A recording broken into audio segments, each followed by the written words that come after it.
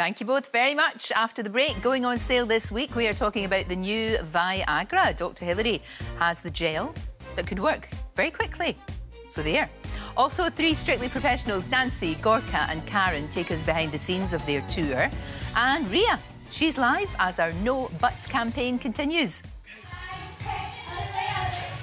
Morning, Lorraine. Now there'll be no ifs or buts today as we're working up a sweat to help raise awareness of spotting those all important signs of bowel cancer. Remember, it could save your life. Well, as well as all of that, Russell is joining me in my very special throne room.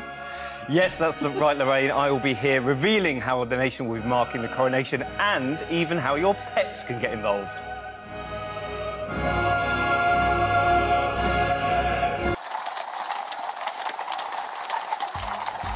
Good morning to you. That was the scene in central London in the early, early hours of this morning. The first rehearsals for the King's coronation, all the details coming up for you.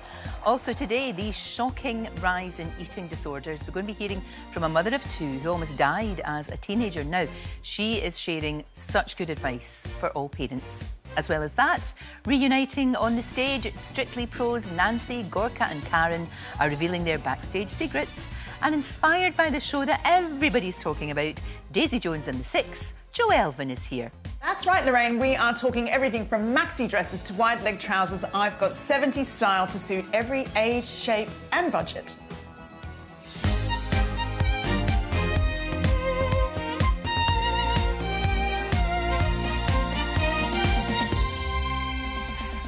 First, though, let's talk to Dr. Hilary about a new over the counter gel for treating erectile dysfunction. Now, arrives in pharmacies this week by over the counter, promising to work much faster than pills like Viagra.